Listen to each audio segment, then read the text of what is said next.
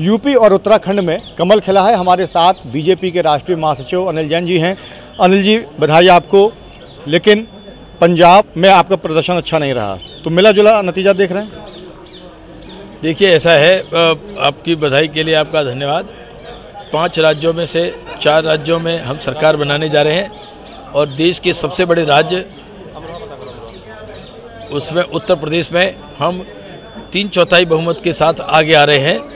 ये भारतीय जनता पार्टी के प्रति, नरेंद्र भाई मोदी के नीतियों के प्रति जनता का विश्वास है और हमारी जिस प्रकार से नरेंद्र भाई के प्रति जो विश्वास है, इसको जिस रणनीति के साथ, जिस तरह की व्यू रचना करके हमारे राष्ट्रीय अध्यक्ष माननीय अमित शाह जी ने इस चुनाव को ले गए हैं और जिस परिश्रम के साथ हमारे नेताओं ने परिश्रम किया, उससे हम सब कार्यकर्ताओं को प्रेरित, अनुप्राणित और रोमांचित किया, उत्साहित किया। इसके वजह से ये इस तरह के रिज़ल्ट हैं। अनिल जी, बहुत निगाहें थी इस इलेक्शन पे, इसलिए भी कि अगर यूपी सबसे बड़ा राज्य है, वहाँ आप अच्छा करेंगे तो राज्यसभा में भी संख्या बल बढ़ेगा, जो एक कमज़ोरी है संसद में आपकी।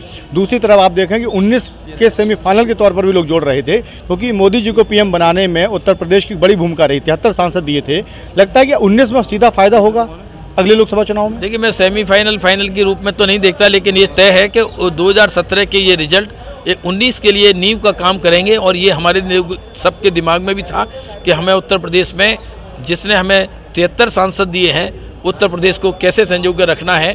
अब उत्तर प्रदेश में परफॉर्मेंस और विकास जो हमने मैनिफेस्टो लागू किया है, उस मैनिफेस्टो पर काम करके निश्चित रूप से हम जिस प्रकार भारतीय जनता पार्टी की अन्य प्रदेशों में सरकारें बार बार आई हैं, केंद्र में भारतीय जनता पार्टी की जो सरकार चली है, जिसने देश में नहीं, दुनिया में भारत का मान, सम्मान और स्वाभिमान बढ़ाया है, इस बात से उत्तर प्रदेश की जनता रोमांचित है और उत्तर प्रदेश की जनता को विश्वास हुआ है कि नरेंद्र भाई मोदी ने जिस प्रकार देश को आगे बढ़ाया है, ऐसे ही उत्तर प्रदेश को आगे बढ़ाएँगे और इसमें कोई दो नहीं है। नोटबंदी का मुद्दा बहुत उछाला विपक्ष ने, लेकिन उत्तराखंड और यूपी के नतीजों ने साबित किया कि नोटबंदी का मुद्दा जो उछाला था, वो काम नहीं आया।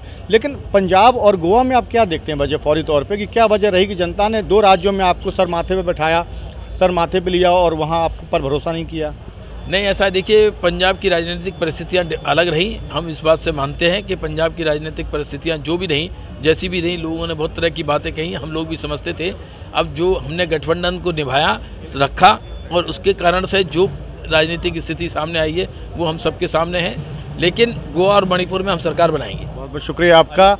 तो ये थे अनिल जैन, बीजेपी के राष्ट्रीय महासचिव। इनका कहना है कि जो केंद्र सरकार का कामकाज है, उस पर जनता ने तरह से मोहर लगाई है, लेकिन दो राज्यों में बीजेपी बुरी तरह क्यों हारी? इसके कोई ठोस जवाब अनिल जैन के पास नहीं था, क्योंकि एक तरफ़ जनता समर्थन दे रही है, दूसरी तरफ़ जनता भरोसा नहीं दिखा रही है। तो कामकाज, अगर जिस कामकाज के आधार पर, मोदी जी के व्यक्तित्व के, उनके चेहरे के आधार पर, चाह सभी राज्यों में पार्टी ने वोट मांगा था, लेकिन कहीं बीजेपी को बहुत उम्मीद से ज़्यादा सफलता मिली और कहीं बहुत बुरी तरह बीजेपी हारी है।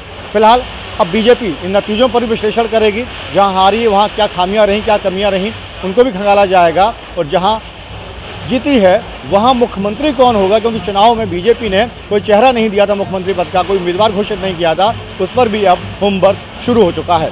कैमरामैन रणवीर सिंह के साथ Raghvendra Dwivedi, News One India, Delhi.